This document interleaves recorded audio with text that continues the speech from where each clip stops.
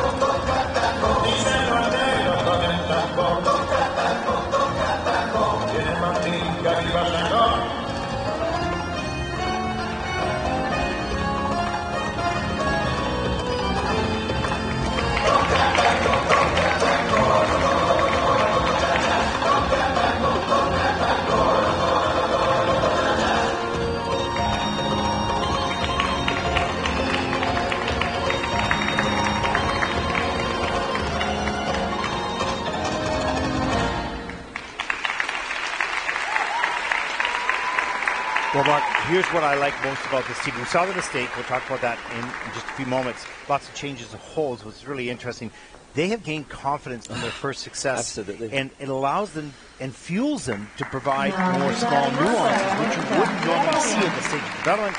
They're pushing the limits, and that which has been fueled by success. So you can see them pushing deeper edges faster, and they'll have a couple of mistakes because of that. But this is a team clearly on a mission and they're going to push the barriers. Yeah, and having chatted to their coach, Kathy Reed, I was concerned knowing that Masaya was suffering with not nice injury. And then even in the warm up, when they were working through the first section of the Argentine tango, when it came to the man's right forward inside counter, I saw him wobbling and I thought, oh my goodness, are they going to be even able to compete without him being in too much pain? And yet, just as you said, Ted, the confidence, despite injury, that that success from the bronze medal is given. I know you said it before, which I forgot because I'm old and you just told me about the injury now. I didn't see the injury no, in the performance. No. That's my point. You know, like I didn't see that at all. But and uh, actually, interesting. Masaya was the one whose interpretation, expression here, as you look look at mm. that hmm. sly little it's, look, and he's looking over to the left to the judge as he's going down the ice. But then you, you also question. I- I'm conscious that Masaya's had the injury, and yet surprised at his level of performance despite nursing that injury. But then, as a team, as a partnership, now Kida, that was a wonderful head movement there. at the end of the twizzles, um, she's had to cope with the worry about her partner and having to support her partner. So that's obviously going to have had an impact on her, even though he's the one. Look, this suffering. this team is a united team. They are completely together. They're on the same page. They have the same skills. They've got a keen desire to be competitive and be at the top. And their coach is at the same stage because she, this is her first year on the Junior Grand Prix with the team, and she wants to do well because she was a competitor.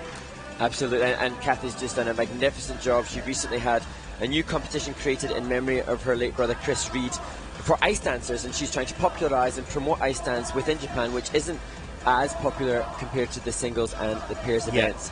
Yet. Yet. And Kathy's doing a magnificent Yeah, job to, absolutely. to add that to what is an incredibly popular The sport in Japan. please. Para uzyskała zespół taniec rytmiczny 56 Free dance, or uh, sorry, rhythm dance score 56.96. There's personal best was 61, so they're falling short of that. That'll put Dale and Masaya into seventh place. They are currently in seventh place.